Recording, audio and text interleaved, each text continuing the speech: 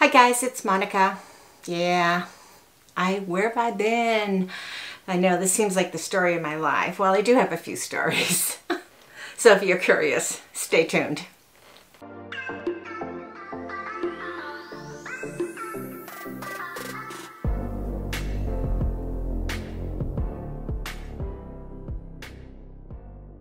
Thank you so much for joining me. So I do have, I, I've got a good, I've got a lot of good reasons for um, not having updated YouTube in, in what, two weeks, which is like, I wanted to uh, do two videos a week minimum and I haven't been able to do that. But everything is good. You know, everything is good um, you know, Jay and I had gone on that trip, and I know I shared that in the vlog where we met up with Marlene and we met up with Sheila. Had an absolutely wonderful time, but we were also on a mission to try to find a um, an investment property, a small investment property. So we were successful ultimately in securing a property. And then it fell apart due to home inspection. Good thing I'm a realtor, right? Because I know what to expect. Um, and then after we already were home, we were able to secure another property and get that under agreement. So that looks like that's good to go um, and good to go closing. So you can imagine just all of that, all the details of that and all of the different things and, and working, um, just time consuming. And last weekend I just totally vegged. I went, visited my mom, just like totally vegged, just trying to regroup. And then during the week, you know, I think I already talked about the fact that we had our masquerade, and I think I included pictures. If I haven't, I'll, I'll add some in here. But we had our, our big Aussie Awards ceremony at work, which was always a huge, huge, huge event. And it was just really nice getting out mingling with everyone. But that is something that, you know, we had coming up and then new training program at work. So it, it was, it's been hectic. So Jay and I, this weekend, we, um, we went and saw 80s 80 for Brady.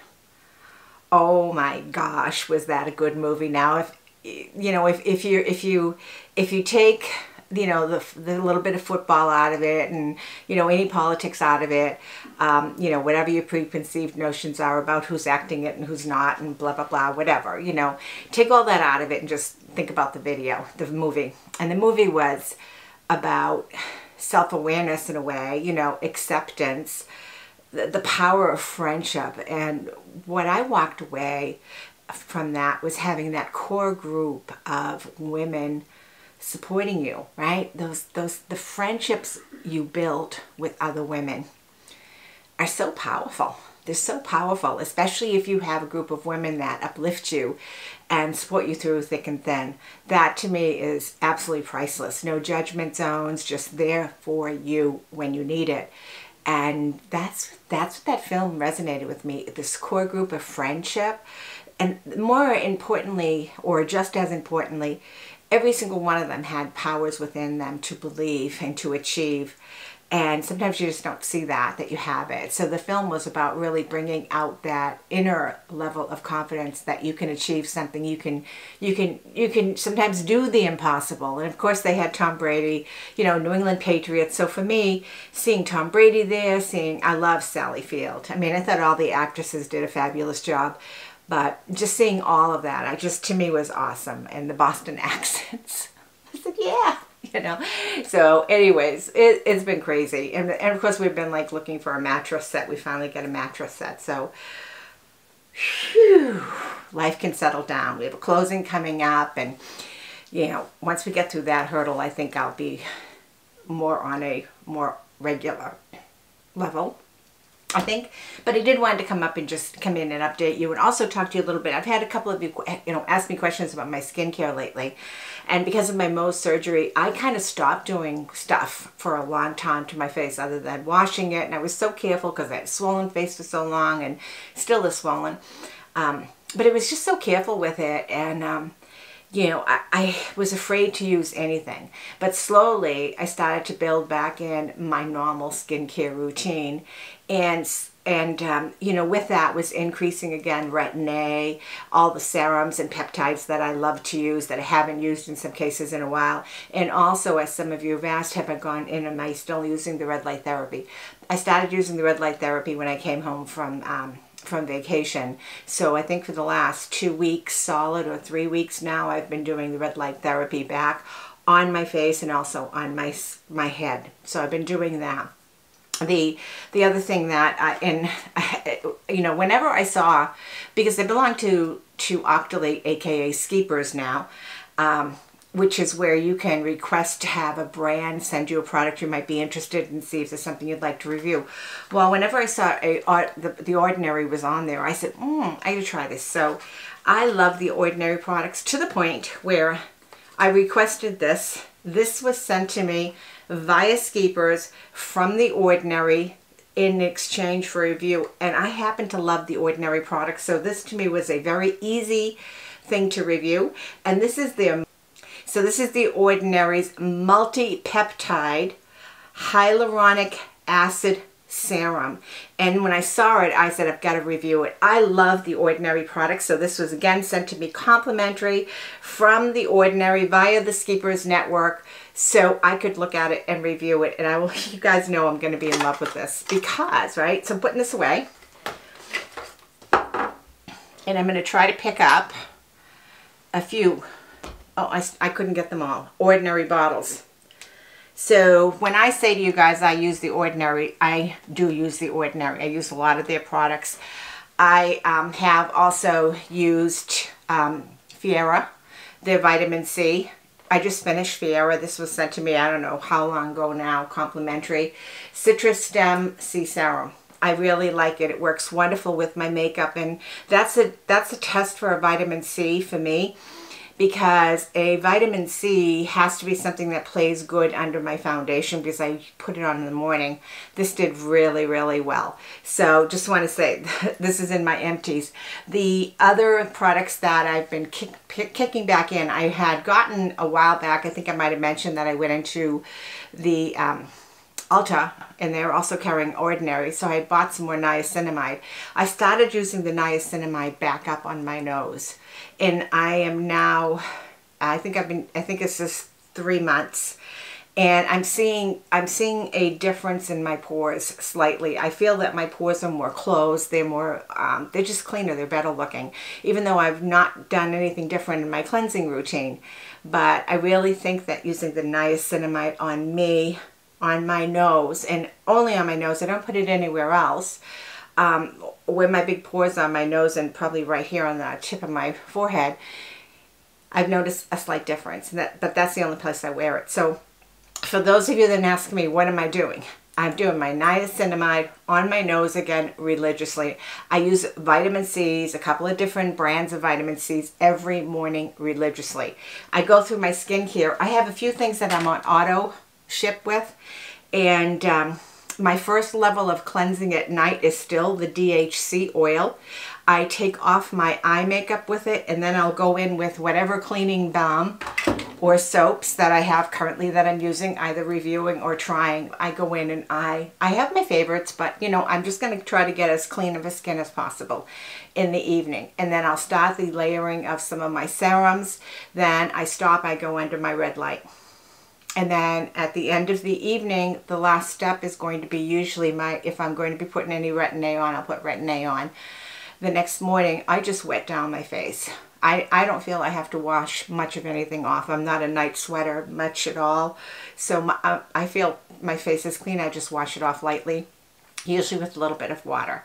And that's when I go in with my niacinamide, on my nose, my vitamin C, you know, on my face. I let that dry. I often use um, you know, some sort of creams or whatever, and I use that the Guiastone, you know, and I put on eye patches. So I recently got gifted, I can't even show you.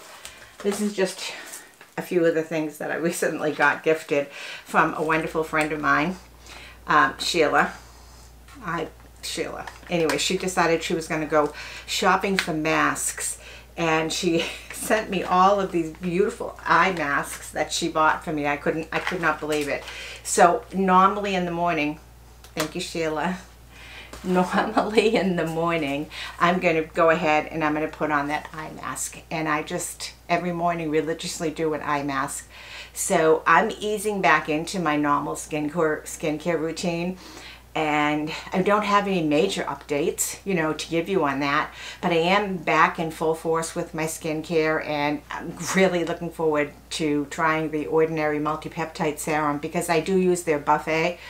I also use their uh, buffet with the copper peptides in it. So I use that. I have those here as well as niacinamide. The only thing I haven't used from the Ordinary is their vitamin C. So that's about the only other thing um, that I haven't used from them. So back in full force with that. I really, you know, you know, we'll see what happens. But I think my skin's looking pretty good, even though I had my Mohs surgery. One of the things that Sheila had turned me on to quite a while ago was this Petite and, Pretty, uh, Petite and Pretty um, mascara. I have to laugh because it's a kid's mascara. But she turned me on to it, and I swear I love that mascara so much so that I said earlier, there's only a few things I'm on auto ship with, with um, Amazon. But I went ahead and did an auto ship with that Petite and Pretty. Every three months they're going to send me that mascara. I love that mascara.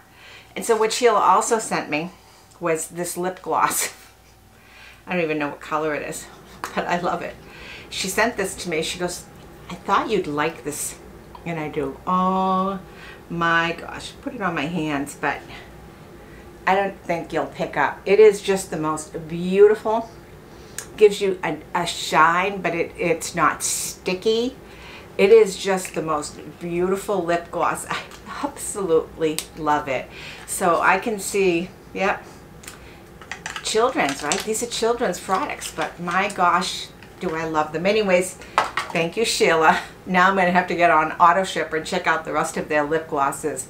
What an amazing line of products. I don't understand why they're for kids. So anyways, that's about it for this video. I know it's probably a lot longer than I wanted to and kind of a little rambling. But, you know, it's like there's only so much makeup skincare stuff you can talk about. And, you know, I'd love to come on camera and turn the camera on and talk about the latest true crime stories that I'm into, that I'm watching. And, you know, I even thought of doing live streams on that. But this, you know, that's an oversaturated arena as well because I sometimes go on and I'm like looking in YouTube for whatever the story is and there's too many YouTubers doing it. So anyways, it, it's hard because coming in and talking about makeup skincare isn't something that I think most of you are super interested in. Yeah, I'm 68. I think I look okay for 68. I could certainly be better, but you know, there's only so much you can do. There's only so much catch-up you can do, and I didn't start using skincare until I was, you know, er, in my 60s basically. So, yeah, 63. I think it was when I series 63.